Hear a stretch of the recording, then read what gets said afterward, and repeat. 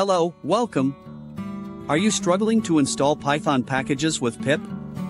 Do you get errors saying your site packages directory isn't writable? Don't worry. This video will guide you through fixing this common issue. We'll cover several solutions step by step. Let's get started. First, understand the problem. Python site packages directory is where pip installs packages. It's usually located in a system directory. Therefore, you often need administrator privileges to write to it. When you don't have these privileges, pip throws an error. Now, let's look at the solutions. 1. Try running pip with administrator privileges. On Windows, open your command prompt or PowerShell as an administrator. Right-click and select Run as administrator. Then, try your pip install command again.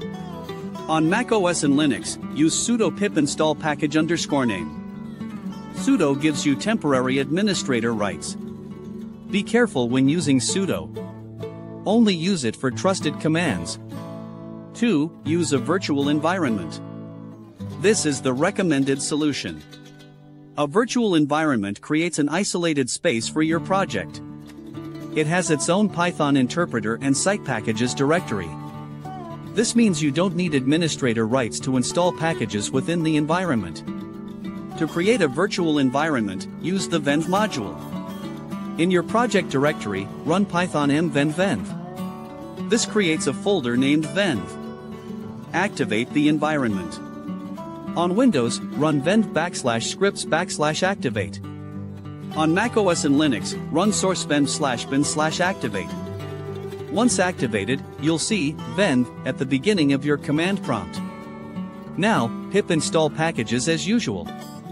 They will be installed within the virtual environment.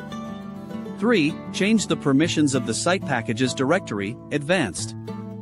This is generally not recommended. It can cause system-wide problems if done incorrectly. However, if you understand the risks, you can try it. First, locate your site packages directory.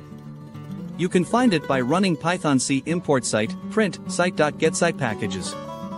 This will print a list of site packages directories. Then, use the chmod command to change the permissions. For example, sudo chmod r777 site packages underscore directory. This gives everyone read, write, and execute permissions. Again, be very careful with this approach. 4. Use the user flag with pip. This installs packages to your user directory. You don't need administrator rights for this. Use pip install user package underscore name. The packages will be installed in forward slash dot local slash lib slash python x dot y slash site packages on Linux slash macOS and percent APPDATA percent backslash python backslash python xy backslash site packages on Windows. Note that you might need to add this directory to your Python path environment variable. Hopefully, one of these solutions has fixed your problem. Remember that virtual environments are the best practice for managing dependencies in Python projects.